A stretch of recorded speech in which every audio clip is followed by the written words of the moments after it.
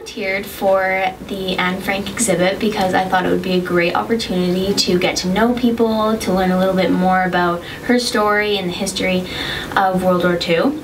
And I thought it would just be a good opportunity to get my knowledge out there and stuff like that.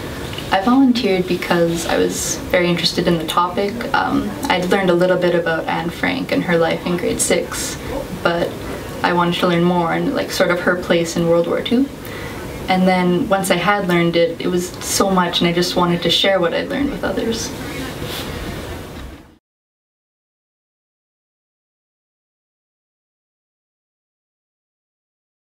The training allowed me to connect with the younger students here at Bruns and around the community and uh, that's very important in this day and age to pass down that knowledge and I think that's a big part of uh, what this exhibit has been is passing down people's stories and sharing knowledge between different age groups.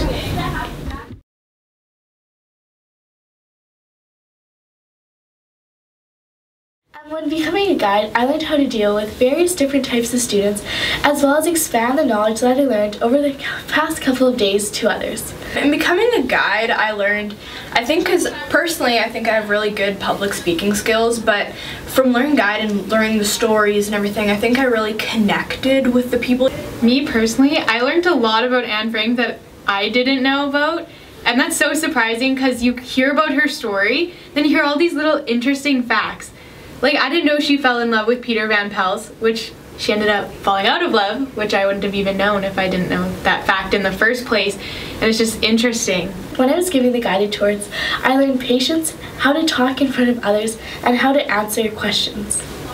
I learned about her, but I forgot about it because I learned about her when I was younger, and now, like, learning about her again, I'm like remembering some stuff, but I'm learning new things, and it's just super interesting to me. You learn how to talk to someone, but instead of just spewing facts, like really talk to someone to be able to relate to them, to connect to them. And I think that just gives you not only public speaking skills, but just speaking skills in general and talking to someone. It's easier to relate with people and just connect on that different level. So I think this is a really good story to do that with as well. In becoming a guide, I learned the importance of Anne's story, not just as a young girl overcoming obstacles and trying to have a life in difficult times, but as someone who gave a voice to those who had their voices taken away from them. She spoke for all those who were not able to. Yeah.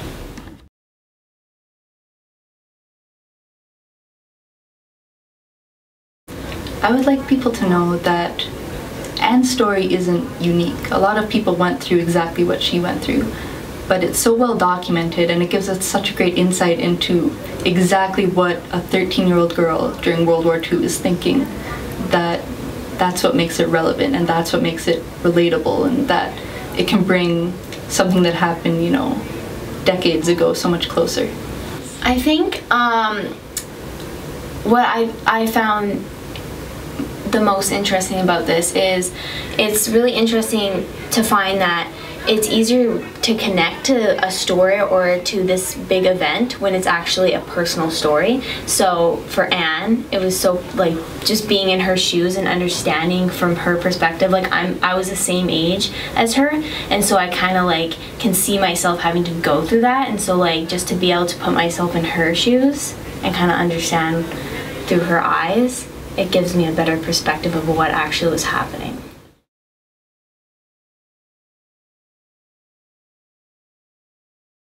purpose was to get people to think about what they themselves thought and their own experiences because there's only so much information you can absorb by having it, you know, told to you and maybe reading it. But then when they're able to think about their own feelings and thoughts on the subject, they're able to really delve in and get to the heart of what we're talking about.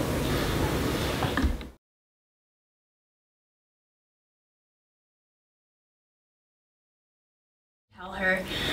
Aside from what you'd think of normally like saying oh run go as fast as you can i think i'd tell her to in this point to you know keep keep trying keep persevering because uh, you never know what the future holds i guess. And i think for her it would just because she was such this like happy and like optimistic girl and i think if she had that at the end of her life, it might have her fate might have turned out a different way. So just to never lose hope and keep that happiness that she was in like her days in the annex, because there weren't a lot of people like that. So yeah. that I'm happy she got a normal childhood for the first couple years. I know what she's been through is super hard to deal with and I couldn't wrap my head around being stuck in a annex for 2 years without seeing the sun. So her doing that is super brave and just